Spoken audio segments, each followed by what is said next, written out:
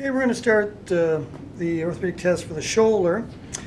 And this is a test, uh, an apprehension test for the shoulder. Um, if somebody's had a dislocation, anterior inferior dislocation, or a subluxation to the shoulder, the apprehension test is pretty good for finding out if they are uh, uncomfortable with the movement or inst for instability. So most people that have had, you know, a dislocation, they don't like external rotation and abduction. So the uh, apprehension test is taking the arm up and rotating it out. And most people, if they've had a dislocation, they don't like this position. The relocate is taking your hand over top of the head of the humerus and, and applying pressure back. And that usually relieves the feeling of dislocation, the feeling of instability in the shoulder, and the, their apprehension. And take it up a little further. You can do, the book, the book does, Magee's does recommend to quickly release the hand or the person will have apprehension again. Though clinically, I'm not in, really in favor of that. Bring the arm up, bring it up to get apprehension here, relocate, great. They're feeling better, bring it down. And to me, there is probably some, some uh, instability in the shoulder if they test positive to that.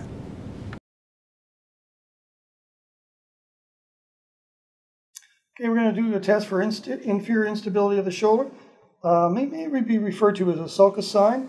Uh, usually there'll be a sulcus or an indentation in through here if the person has a, a lot of um, instability in the shoulder. So what I'm going to do is I'm going to apply, take my left hand, I'm going to apply pressure down. Now you can see a little bit of movement right in through here. It's not positive, but you can see how the shoulder has dropped down. Somebody who is positive, the shoulder or the head of the humerus will drop down and you'll get a little indentation right about just below the AC joint there. So inferior instability test. Okay, we're going to do posterior apprehension. Um, if the person has had damage to the posterior capsule, uh, posterior, the posterior um, capsular ligament, there will be instability in the in the posterior aspect of the joint. So we did the anterior portion.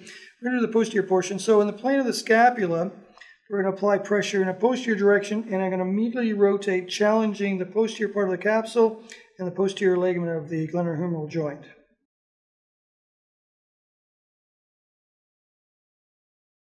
Okay, we're going to do with the push-pull test. Again, the push-pull test is similar in some respects to the posterior apprehension. We're testing the posterior capsular ligament, posterior capsule for instability. So I bring the arm out, just relax that, it's good. Apply my hand on the head of the humerus, and I'm going to apply pressure down with my right and lift up with my left hand at the same time. So I'm putting, applying pressure down. It's very similar to a posterior joint move, pushing down and then I lift up with the left hand, putting pressure on the posterior capsule, posterior ligament.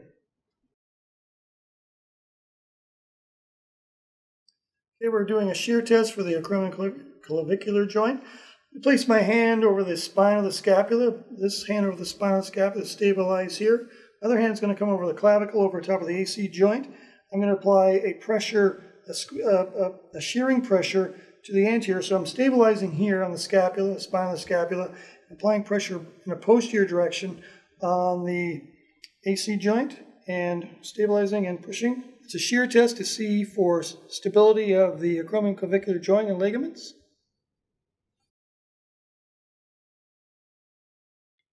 Okay, we're going to do a clunk test. Uh, clunk test is for uh, labral tears.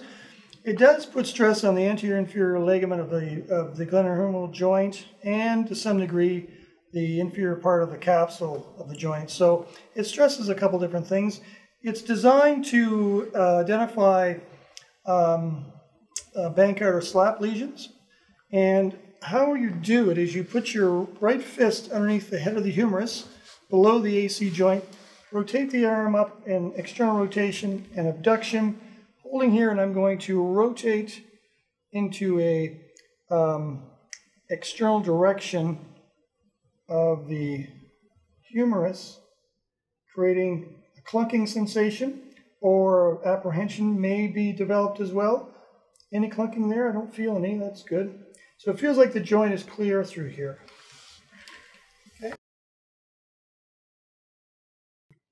So we're going to do the compression rotation test. So this also tests for SLAP or Bankart lesions, and you can do it in a, a couple different vectors. You can go to the plane of the scapula, come in and you're doing a medial lateral rotation, coming in, compressing the joint, and you're looking for a clunk, snapping sensation, reproduction of the person's pain. So that's going to affect the, um, the labrum, the superior labrum, or the inferior medial labrum.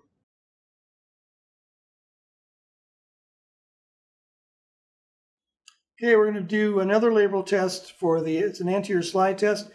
It's mostly for SLAP lesions. So the, um, the SLAP lesions are superior, superior labral, anterior and posterior. So the SLAP lesions are more on the superior surface of the, of the joint. Um, the long end of the bicep also may be affected with uh, SLAP lesions because the long end of the bicep attaches to the superior part of the glenohumeral joint. And so uh, that's another consideration when you're assessing the, uh, the joint for SLAP lesions. Okay, so you're going to apply, I'm going to apply, and take my right hand and apply it over top of the AC joint and the clavicle, and, and the posterior aspect is over top of the uh, spine of the scapula. Taking my left hand, I'm pushing anterior in an anterior direction, and I'm pushing the head of the humerus towards the labrum and rubbing over the labrum to see if there's any snapping or dislocate or any slapping oh, I'm sorry, any clicking or snapping in the joint and a reproduction of the person's pain would also be something I would note.